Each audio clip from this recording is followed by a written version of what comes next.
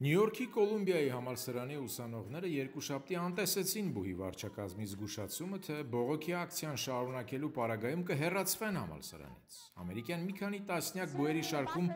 Կոլումբիայի համալսարանն առաջինն էր, ուսանողները բողոքի ցույց կազմակերպեցին,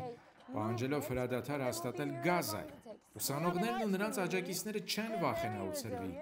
Սա համալսարանի կանոնների խախտում չէ, սա շարժում է եւ նրանք այստեղ կլինեն այնքան ժամանակ, որքան կպահանջվի, ասում է Կոլումբիայի համալսարանում ուսանողական բողոքի ակցիաների կազմակերպիչներից Սուեդա Պոլատը։ Գետից ծով Պաղեստինն ազատ է լինելու։ Ամենաարևմտյան ափի բուհերում ընթացող բողոքի ակցիաների մասնակիցները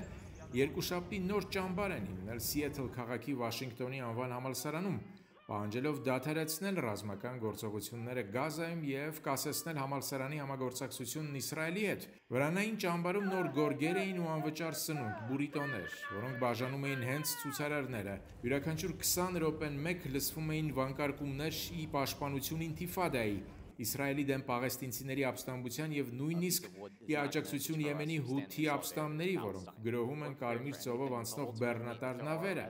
Համալսարանի տարածքում մի քանի վայրերում բուհի վարչակազմը տեղադրել է վրանային ճամբարն արգելվում է գրառմամբ ցուցանակներ, նաև Liberal Arts Quadrangle-ում, որին կարճ quad են անվանում, եւ ուր ցուցարարները վրաններ են տեղադրել։ Այդ փայտի կտորը մեզ հետ չի պահի Պաղեստինի հետ համերաշխությունից, պատրաստ ենք ամեն ինչի։ Ի վերջո, եթե ձերբակալություններ լինեն,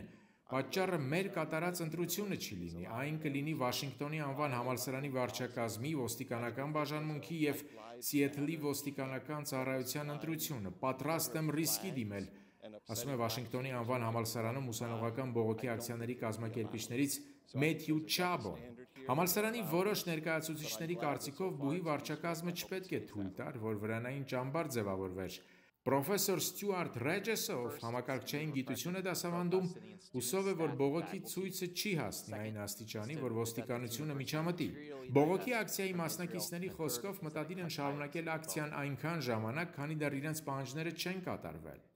Առաջին դադարեցնել պաղեստինցիներին աջակցող ուսանողների բուհերի անձնակազմի եւ պրոֆեսորադասախոսական կազմի նկատմամբ բռնաճնշումները, երկրորդ համալսարանը պետք է հրաժարվի Իսրայելի հետ համագործակցությունից եւ երրորդ դադարեցնի հարաբերությունները Boeing-ի հետ, ասում է Մեթյու Չաբոն։ Ինչևէ, Իսրայելին աջակցող ուսանողները ուշադրություն են հրավիրում, ինչու ցուցարարները չեն անդրադառնում հրեական պետության դեմ Համասի հարձակմանն ու Գազայում պահվող պատաններին։ Հրադադարի կոչերից անդին, երբ խոսքը վերաբերում է մերձավոր արևելյան հակամարտության երկարաժամկետ լուծմանը, ցուցարարների տեսակետները տարբեր են։ Ոմանք հույս են փայփայում ապագայում Գազայում տեսնել ժողովրդավարական պետություն, կրկնելով սակայն ինթիֆադայի մասին կազմակերպիչների կոչերը։ Ամերիկայի ձայն, Washington?